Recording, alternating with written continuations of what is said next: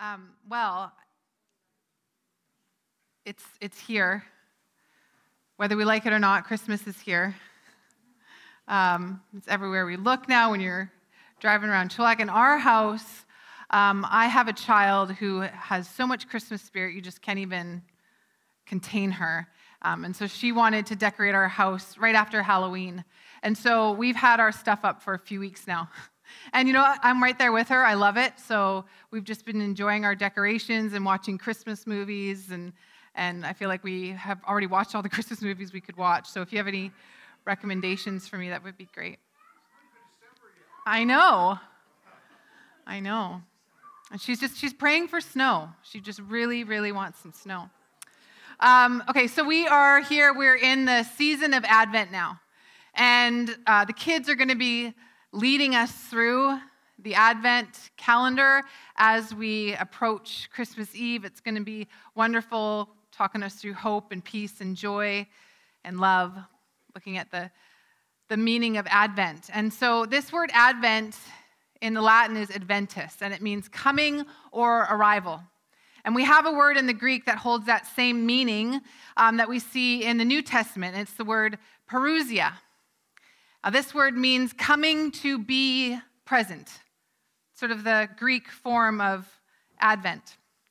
And we hear Paul use this word parousia often when he's writing to the church and he's talking about coming to visit them, coming to be with them. He uses this word parousia. And as we work through um, the New Testament, often this word parousia is spoken of Jesus and his, his second coming. And so, you know, Advent, as Aaron mentioned this morning, uh, reminds us of this waiting that we exist in, this waiting period that we're all in as we wait for the second coming of Christ, as we wait for the parousia of the King of heaven and earth. Now, in the Gospels, during Jesus' ministry, he speaks of his own parousia, of his own um, second coming. In Matthew 24, he says to his disciples, as lightning that comes from the east is visible even in the west, so will be the coming of the Son of Man. And he goes on to, to give these signs that will happen. And he says, Then will appear the sign of the Son of Man in heaven. And all the peoples of the earth will mourn when they see the Son of Man coming on the clouds of heaven with power and great glory. And he will send his angels with a loud trumpet call, and they will gather his elect from the four winds, from one end of the heavens to the other. So here there will be this day when Jesus will come in all of his glory, in all of his majesty, where every eye will see and every knee will, will bow. Everybody will see him for who he is, and we will see him face to face, and he will gather his elect. He will gather all of his followers, both those who have gone before us, who have died in Christ, and those who are still living will be gathered to him when he returns. In the book of Revelation, at the very end, Jesus ends the book by saying, Yes, I am coming soon, promising his church of his arrival, of his advent. And when he returns, this is not us being uh, taken up into heaven and floating off somewhere in the clouds, somewhere in the sky. When Christ returns, he is coming to this earth to be with humanity. In Habakkuk 2:14, the Amplified Version says, "The time is coming when the earth shall be filled with the knowledge of the glory of the Lord, as the waters cover the sea. The time is coming when the earth will be filled with the glory of God, with the knowledge of who He is. Nothing left untouched, just everything completely saturated with heaven with the presence of God, with, with the glory of God. And so when Jesus comes, he is actually bringing heaven to earth. And there will be this unification between the heavens and the earth. And we see through the, the scriptures this sort of visual of this new heavenly Jerusalem just descending upon the earth and God's rule and reign just filling creation. God will be all in all. And we will see him as he truly is. We will know him even as we are fully known by him now. This is complete renewal, complete restoration. And we have sort of this imagery in the scriptures so that we can kind of imagine what this might look like. In Isaiah 65, God says, Pay close attention now. I'm creating a new heavens and a new earth. All the earlier troubles, chaos, and pain are the things of the past to be forgotten. Look ahead with joy, anticipate what I am creating. Look ahead with joy anticipate, be expectant for what I'm going to create on the earth. John has this same sort of language in the book of Revelation. He says, Then I saw a new heaven and a new earth.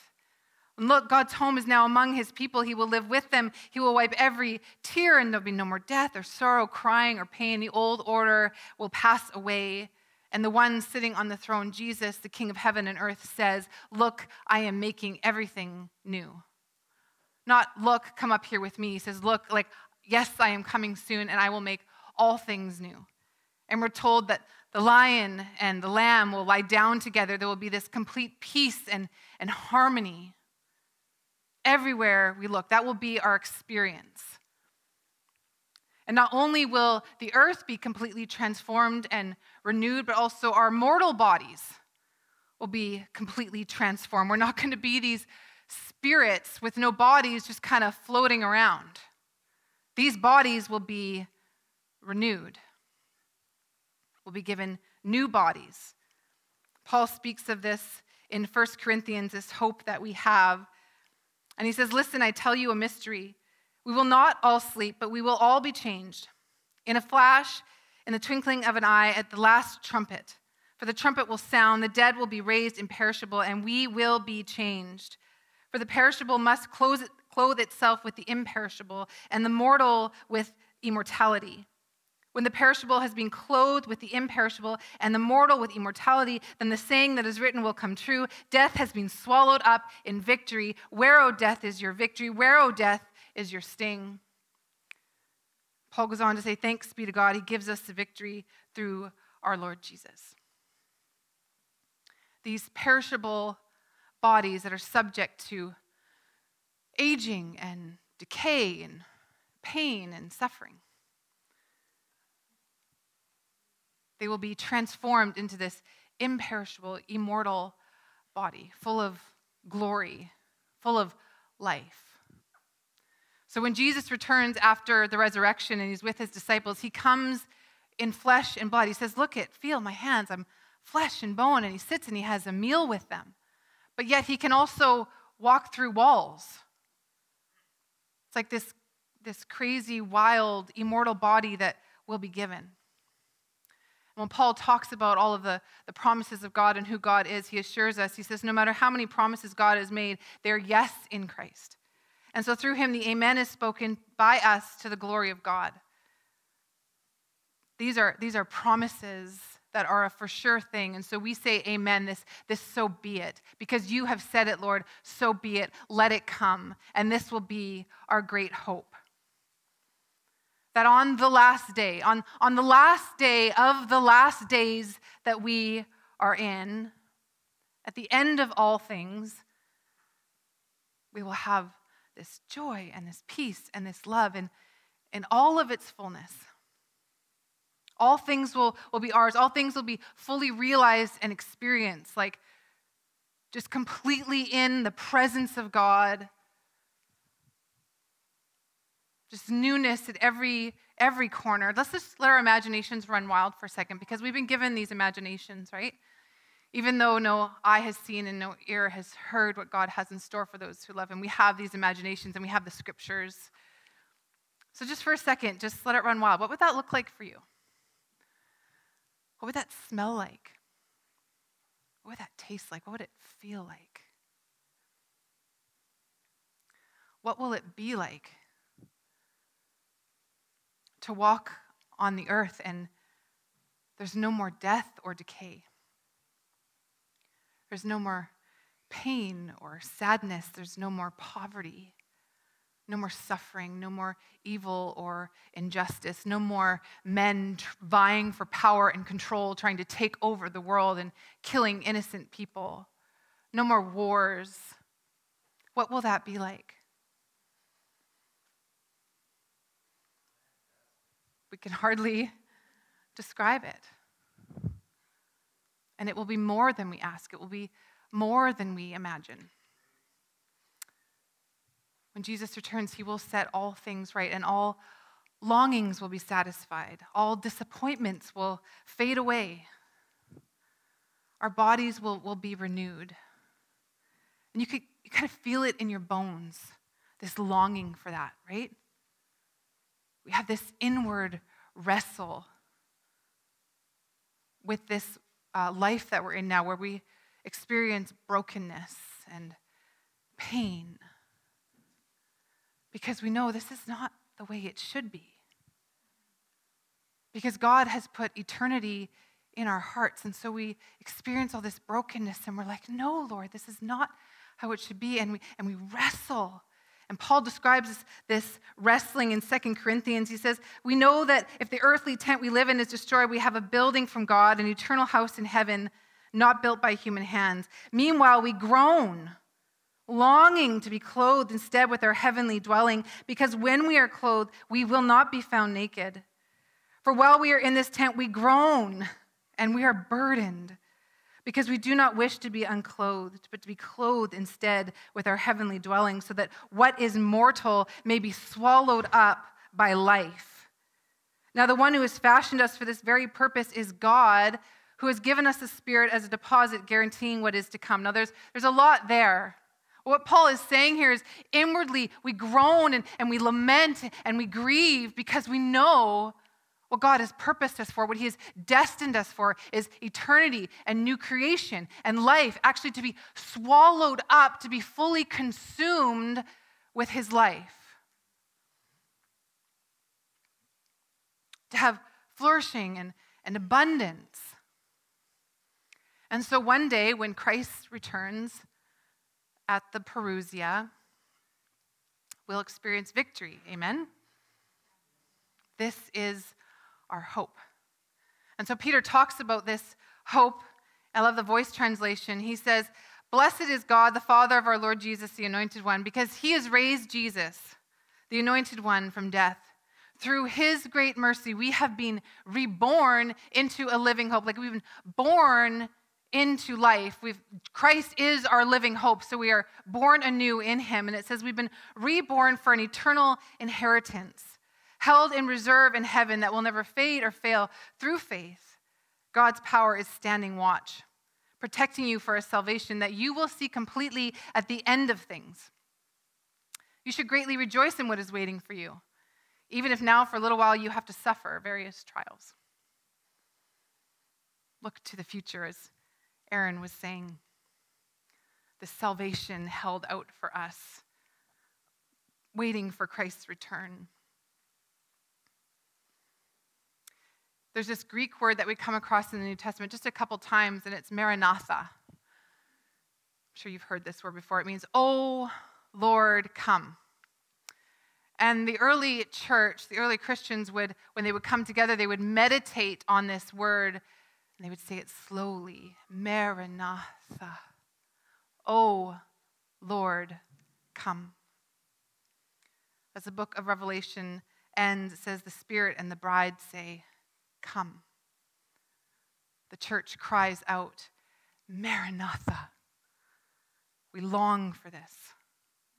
We long for his return. We long to be clothed with immortality, to be swallowed up with life, and for all suffering to end. And so, this is the gospel to the world, right? I know things are bad now, but just wait. Because the day is coming. Here's the good news keep waiting. Things will get better when you die. Just hold out, keep waiting, because when Jesus returns, then you'll experience heaven on earth. When Jesus comes, one day, just keep waiting. One day, God will be here. One day, his kingdom will come. One day, we'll experience his life. Just wait it out. And so we keep praying, Maranatha. And we wait.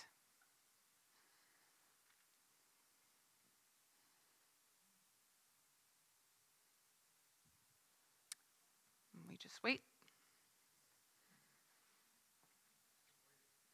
I'm getting good at waiting. Because the scriptures are full of waiting. When brokenness enters into the world, humanity waits a lot. Abraham and Sarah wait for a child. Israel waits in oppression in Egypt, waiting to be rescued for 400 years. Again, we follow Israel and they wait and they wander through the desert and the wilderness. They wait for the promised land. And again, they wait in exile. Because of their corruption and injustice and evil, they are sent in to exile, ruled over by a violent nation, and they wait. They wait for God to come. They wait for God to bring his kingdom. And for hundreds of more years after that, they wait and they wait as they're ruled over by foreign nations and corrupt kings. And they just keep on waiting, waiting on the promise. Because through the prophets, God had promised Israel one day, one day, my kingdom will come to you. One day you will experience heaven on earth. One day I'm going to send to you a Savior. One day the Messiah will come and he will liberate Israel, and you will have victory over your enemies. You will have freedom. And so they waited for the advent of this promised Messiah, of their Jewish king. And then we know how the story goes. This is not a surprise to us, right? I'm not like leaving you in suspense here. You know. One day the waiting is over when we get to the Gospels. And so we get to Luke, and this young woman who is yet to be married and is a virgin, this angel comes to her and says, You will conceive a son, and it won't be by the help of any man. The Holy Spirit is going to come to you and place um, this child in your womb. And he is the promise. He is the long awaited Messiah, Mary, and you are going to house him. And the angel says, You will call him Jesus, and he will be great. He'll be called Son of the Most High. The Lord God will give him the throne of his father David, and he will reign over Jacob's descendants forever. His kingdom will never end. So Mary's like, Oh my gosh, the promise, it's here. God is faithful. And for me will come the hope of an entire nation hundreds and hundreds of years of waiting, Mary's like, this, this long awaited promise will come from me. And then we get to Luke 2, and, and Jesus has been born, and we meet this man named Simeon. And it says in Luke 2:25, there was a man in Jerusalem called Simeon. He was righteous and devout. He was waiting. He was waiting for the consolation of Israel, and the Holy Spirit was on him. It had been revealed to him by the Holy Spirit that he would not die before he had seen the Lord's Messiah. One day, Jesus comes in his presence, and it says Simeon took him in his arms and praised God, saying, Sovereign Lord, as you have promised, you may now dismiss your servant in peace, for my eyes have seen your salvation, which you have prepared in the sight of all nations, a light for revelation to the Gentiles and the glory of your people Israel. Here, Simeon was waiting, but he was waiting with expectancy. He knew that God was faithful. God told him, You will see the promise in your lifetime. And so he waited, and then one day walks in the Messiah, and he holds the hope of a nation in his arms. He holds the long awaited promise of God, and he praises God for it because he knows now the waiting is over and he can die because the Messiah has arrived onto the scene. And he knows this is a big deal because with this Messiah, with this king, comes the kingdom of God, and Israel will have victory. They will have freedom. And as we follow the life of Jesus through the Gospels, we find out that this Messiah is more than Israel hoped for more than they dared to dream, more than they asked or imagined, more than they ever expected. Because not only was he sent from God, he was God himself. And not only was he the hope of one nation, he was the hope of all nations, the hope of all humanity. Simeon says he's a, a light for revelation to the Gentiles and, and the glory of the people of Israel.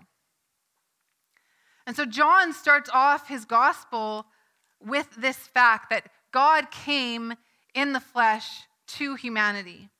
He says, In the beginning was the Word, the Word was with God, the Word was God, through him all things were made. Down in verse 14, the Word became flesh and made his dwelling among us. We have seen his glory, the glory of the one and only Son who came from the Father. That God became flesh. He came to the earth in the midst of humanity's sort of suffering and pain and brokenness and darkness. He came to earth to dwell with, this word tabernacle, to literally make his home with the people. Not to take them out of the world, but to be with them in the world, here and now. The waiting is over. This is the promise. God said he would come, and he does come in and through Christ. And again, this is Jesus bringing heaven to earth. His gospel is the kingdom is here.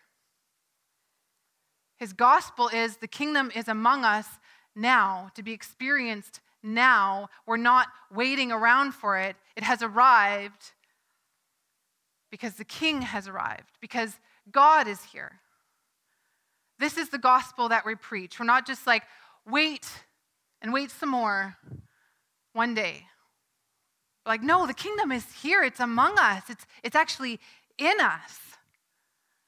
This has always been what God has been promising. This has always been who God has revealed himself as to his people. In the Old Testament, even when we see all these stories of waiting, he comes to Abraham and Sarah and he gives them a child, the promise. We follow the story of Israel. He rescues them from slavery. He comes and he, he takes them out of oppression and he dwells in the midst of them and makes them his people. And he leads them in the desert. As they wander through the desert, God does come through. He is faithful. He leads them into the promised land. And even when they turn from Him, even when they turn towards evil and corruption and they reject and forsake the God who saved them, He still comes over and over and over again in the, New in the Old Testament. When His people call upon His name, He is the God who comes. He is the God who breaks through here and now. In the midst of all the brokenness, God always comes. In Ephesians 1, Paul says, When you believed in Christ, he identified you as his own by giving you the Holy Spirit, whom he promised long ago. The Spirit is God's guarantee that he will give us the inheritance he promised and that he has purchased us to be his own people. He did this so we would praise and glorify him. See, there's promise fulfilled now the Holy Spirit, the, the person of Jesus, the power and the presence of God. This is the promise that is actually ours today. And because of that, because the Holy Spirit has been given to us as a guarantee, we know that there is still a promise awaiting us when Christ returns. This word parousia, it actually has two meanings. It means coming to be present, but it also means present presence. Presently present. It's the same with Maranatha. It means, oh Lord, come, but it also means the Lord has come. And so, as the early church meditates on this Maranatha, they are holding this tension. They're in between worlds. But they're saying, Oh Lord, come in, in our moaning and our groaning and our pain and our suffering. Oh Lord, come. And we have this great hope in you. But they're also saying, Oh Lord, thank you that you are here. Thank you, Father, that you hear us, that you always hear us, that you always come. Thank you that your kingdom is at hand among us. And so Advent is the same. Advent is this looking forward to the future and what will be ours fully but it's also celebrating what is already ours. Jesus, who is our peace, Jesus, who is our joy, Jesus, who is love, he is here now with us. And so during Advent, we remind ourselves that these things are to be experienced among us, among God's people.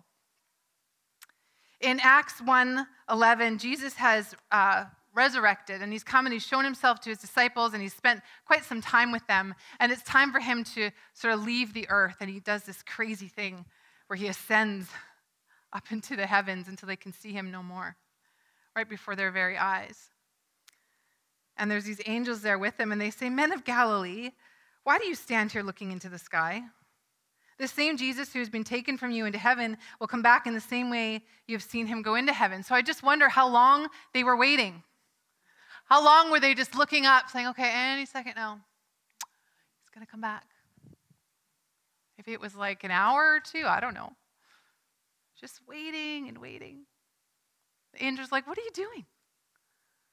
Why are you waiting around? He will come back. But Jesus has told you something. Jesus has a promise he wants to give you. Go and get it. So, as we follow the book of Acts, we see that the promise comes, this long awaited promise. The Holy Spirit comes and fills Jesus' followers. They're filled with his power, they're filled with his presence. This is who we are people who are filled with the Spirit of God people who house the Messiah. And as we follow Acts, we see where the Jesus followers go, the kingdom goes as well, right? Because they are filled with the Holy Spirit. So everywhere they go, they're just bringing the glory of God. They're bringing this, this new creation. They're bringing the kingdom. So when you believed in Christ, he identified you as his own by giving you the Holy Spirit. If you have believed upon him, you have the Spirit. This is who we are. We are people of the Spirit, people of the presence, people of the kingdom. And we are not waiting around looking up in the sky. We're not waiting, we are partaking. We are partnering with God we are partnering with Jesus' ministry to bring the kingdom to earth, to make God known, to fill the earth with the knowledge of God. So, here, this is when we gather, when we are together, we're not waiting around for something. We're experiencing, we are meant to experience the kingdom among us when we are together. We are meant to experience new creation, and we are also meant to bring God's kingdom to this world. Wherever we find ourselves, whatever sphere of influence we have, whether it's with our families or in the workplace, wherever it may be, we are, we are influencers. Like we are called to come into those places and bring the kingdom, to bring hope and peace and joy and love and all the other many things that come with it to be the evidence of new creation. We're not passively waiting around for this thing. Jesus says in Matthew 11, from the time John the Baptist began preaching until now, the kingdom of heaven has been forcefully advancing.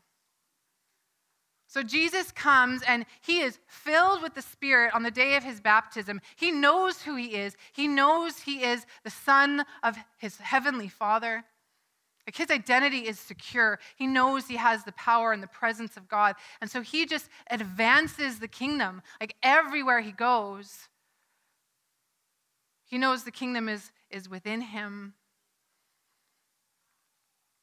And so everywhere he goes, he brings the kingdom. He's not just sitting around and he's showing people who God is through love and acceptance and, and kindness and signs and wonders and miracles. In 1 Timothy 6, Paul is speaking to the young pastor that he mentors, and he says to Timothy, Fight the good fight of faith.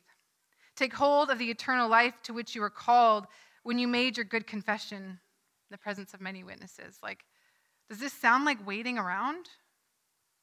Fight the good fight of faith. Like, go for it, Timothy. The kingdom is upon you, the Spirit is within you. Says, take hold of it. Take hold of it. Don't just sit around waiting for it. Go for it. In John 14, Jesus says, Whoever believes in me will do the works I've been doing, and they will do even greater things than these because I'm going to the Father. He had to go to the Father so he could pour out his spirit on all flesh, on every tongue, tribe, every nation, so that people all over the earth would be filled with his spirit and be able to do the ministry that he did, to be able to do the works that he was doing, to pray for the sick, to cast out demons, to heal and, and to set free, to raise the dead. Can you imagine? We're called to raise the dead. Jesus did it. He said, You'll do even greater things. And when he ascended, it says that he poured out these spiritual giftings upon his church, upon his body, and that we are filled with these giftings to expand the kingdom, not for our own glory and fame, but to actually reach our hands out and, and bring the kingdom to our brothers and our sisters, to our family and our friends, to our coworkers. We're called to serve, we're called, called to give to the poor, to welcome in the, um, the homeless and take care of the widows and the orphans, to display who God is with our lives. And we can do this because of his power within. Now, let me just be real for a second because I am a bit of a realist. And um, I know that we experience suffering and pain, and I know that many of us know what it means to be broken. Many of us know what it means to mourn and, and to grieve, to suffer loss. Those things are very real, and we're not ignoring those things, but we are saying, God is here in our midst, and He has come to be with us in that. And there is hope for today. Like, we know that the kingdom is here because who has experienced the kingdom of God in their lives? Who has experienced the presence of God, the love of God? Like we have known this, we have seen it, we've experienced it for ourselves. I've been to South Africa where I saw blind eyes open and deaf ears that could hear, and literally people who were mute could, could talk, and the lame could walk. And my God is doing these things on the earth today through his followers. And I know we're not seeing it at every turn. I know we're not seeing it every time we pray, but we keep pressing in.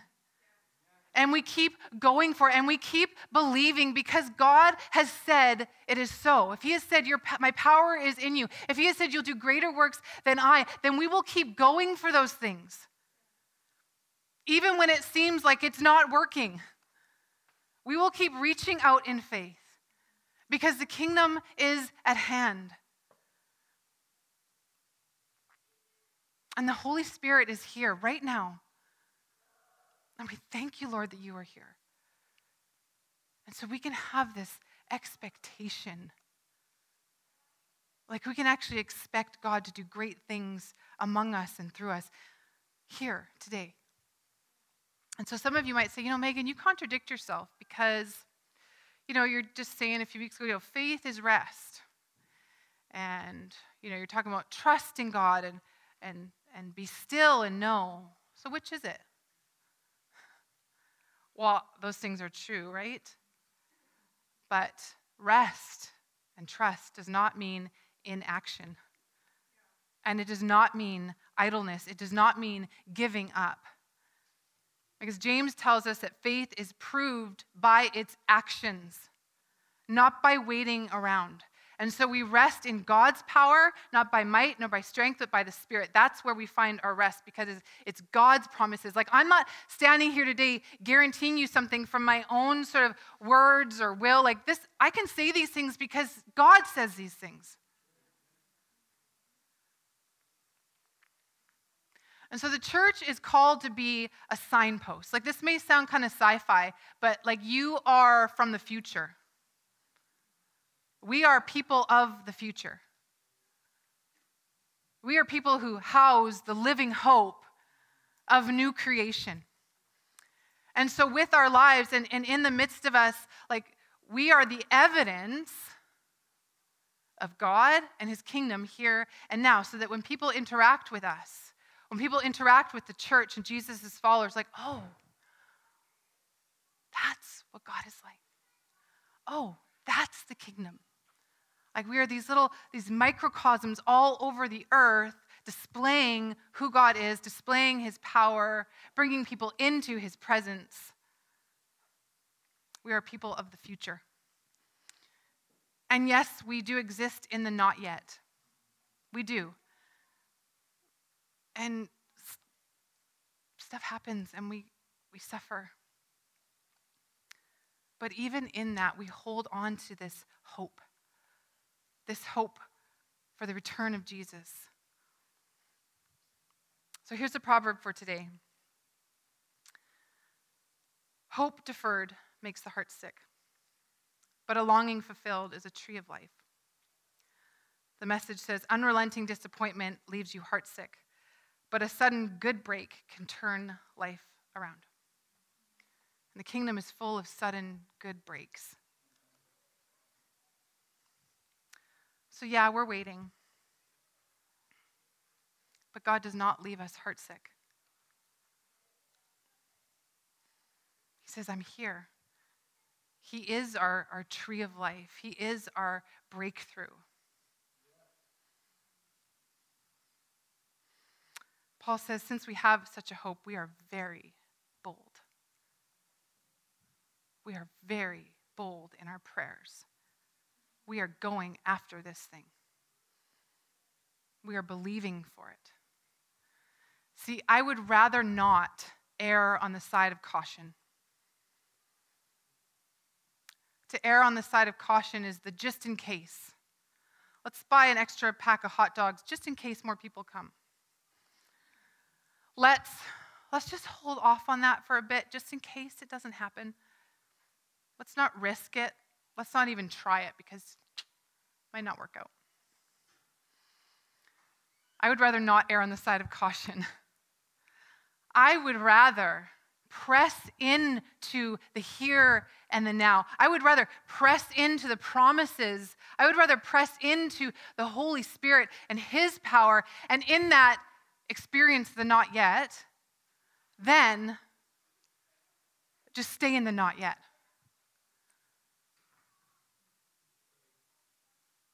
I'd rather press in to what is possible. Like at the end of my life, I don't want to say, oh, you could have done that. I didn't think you would, so I didn't even try. Like, I want to press in and, and, and press into God says, I can do more than you ask or imagine. I want to believe for that kind of stuff. I want to believe that one day I will raise a dead person. Don't you want to do that?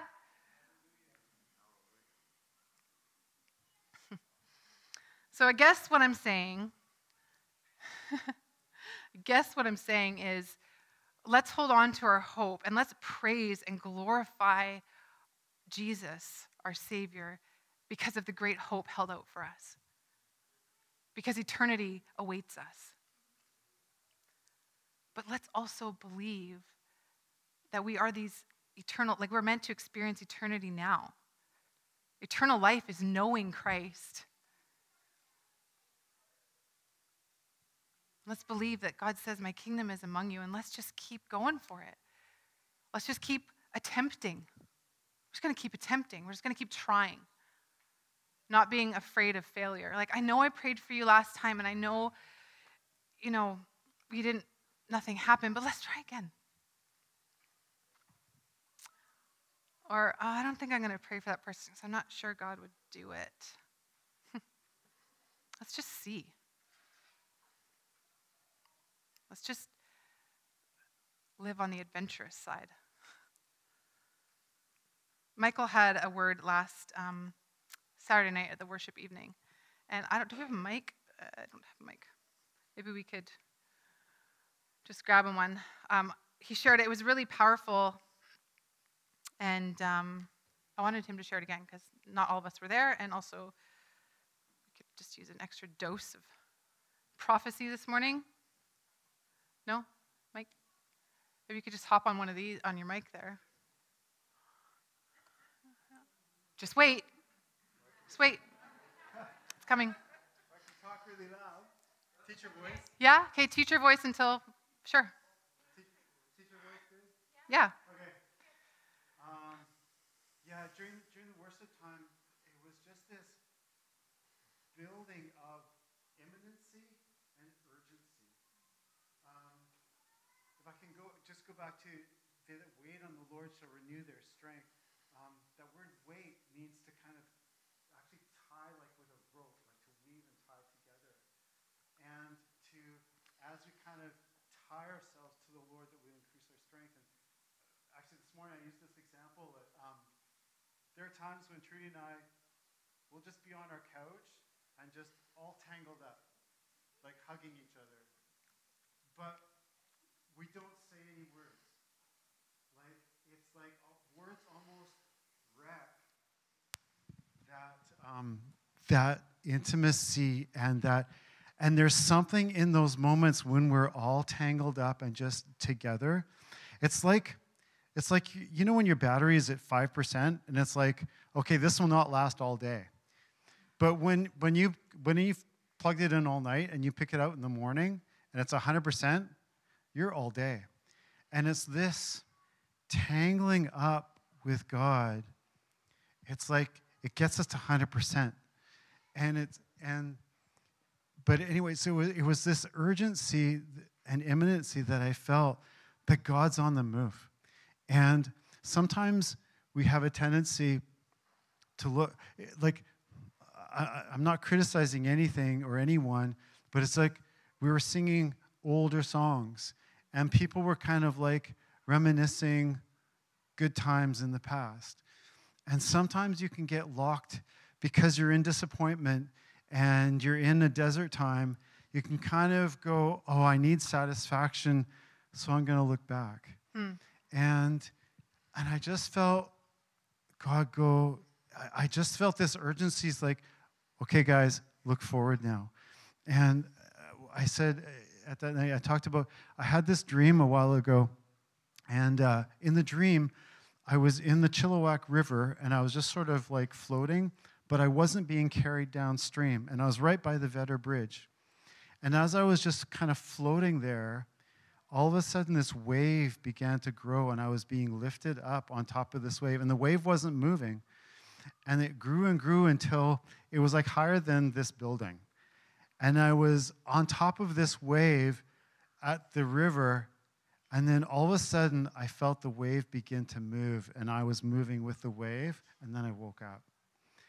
And it, it was this sense of, it was the sense of God is beginning to move. And it is something new, and it is something wild. And it was like that verse, it was like, you know, the kingdom of God is advancing passionately, and passionate people take hold of it. And it was this idea of, it was this sense that God has, He sees our disappointment. He sees the dryness. He sees the hurt. He, he sees the woundedness. He knows, he knows your suffering. And it's like he's holding out his hand and he's going, Come wait with me. Come entangle yourself with me. But we're going on a ride. We're going on a wild ride. And those dreams that he's put in you, those longings that he's put in you, doesn't matter how old you are, doesn't matter kind of what vintage you are. God's go, going, I put them there for a purpose, actually to be fulfilled on this earth. And I just feel like it is, it's, he's going like, it's time. Uh, get ready for a wild ride. Amen. Awesome. Yeah, just get them. That's great. So we're going to believe on that, and and um, we're going to ask for that. We're going to press into that. And you know, we're doing the Christmas parade. We're opening up our building to our city on Saturday. So, like maybe we could just, the kingdom could just encounter some people that day. And maybe when you go to work tomorrow, you know, someone needs a, a taste of new creation. Someone in your family or one of your friends. So, this is what we're going to do. Um, if you need to go, you can go. You can get your kids. Uh, we have gone um, quite a bit over time today, but we are always going to be here. Yeah, we're going to do that. We're going to be here for prayer. Um, we're going to have a bunch of people come up for prayer ministry, and we're going to just press into the.